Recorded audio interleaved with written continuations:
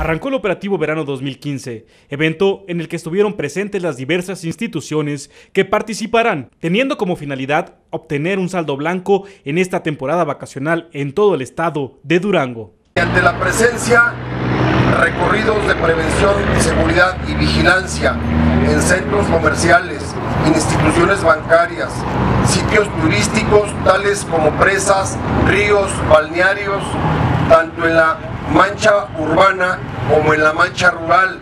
En dicho operativo trabajarán en estrecha comunicación la Secretaría de la Defensa Nacional, la Procuraduría General de la República, la Policía Federal de Caminos, la Fiscalía General del Estado de Durango, la Unidad de Protección Civil, la Secretaría de Seguridad Pública, las Direcciones de Seguridad Públicas de las distintas municipalidades, asimismo los bomberos de los municipios contando con la Cruz Roja, Caminos y Puentes Federales, Ángeles Verdes y la Secretaría de Turismo se brindará atención a la ciudadanía para inhibir actividades ilícitas, permitir el seguro desarrollo de las actividades propias de las festividades de la temporada.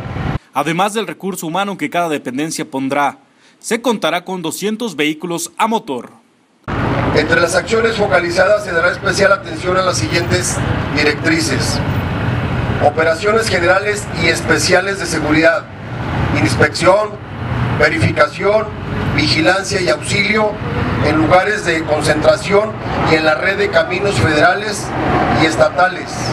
Según el titular de la SCP, Roberto Flores Mier, el aumento en la movilización de las personas, el incremento de la actividad comercial, la ocupación hotelera y la desocupación temporal de zonas habitacionales que trae consigo el periodo vacacional también puede ser propicio para que los delincuentes agredan de una u otra forma a los ciudadanos. En este operativo participarán más de 5.000 elementos de las corporaciones de las tres órdenes de gobierno.